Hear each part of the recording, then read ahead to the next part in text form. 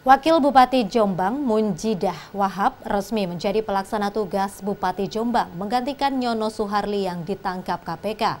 Sementara KPU Jawa Timur mempersilahkan Nyono mengikuti pilkada meski berstatus sebagai tersangka.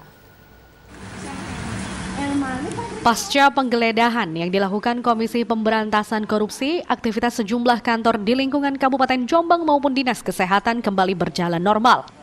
Wakil Bupati Munjidah Wahab resmi menggantikan Nyono Suharli Wihandoko sebagai PLT hingga tanggal 15 Februari mendatang.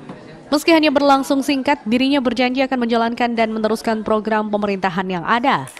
Uh, sampai hari ini saya belum menerima secara uh, fisik. Hmm. Tapi Jadi sudah ada kemarin sudah ada konsultasi ke Pemprov yang masih dalam proses. Sementara meski ditetapkan sebagai tersangka, Nyono Soharli Wihandoko dipastikan tetap bisa mengikuti kontestasi Pilkada Jombang. Selain tidak ada aturan yang melarang seorang tersangka mengikuti pencalonan Pilkada Koalisi 5, partai di Jombang tetap bersikukuh mencalonkannya sebagai bupati.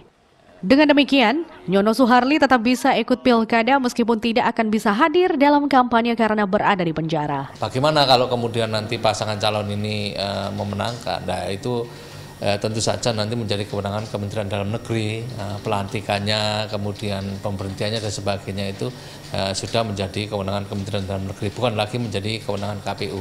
Kewenangan KPU di sini adalah melakukan proses pencalonan, kemudian melakukan proses pemungutan suara dan menetapkan hasil.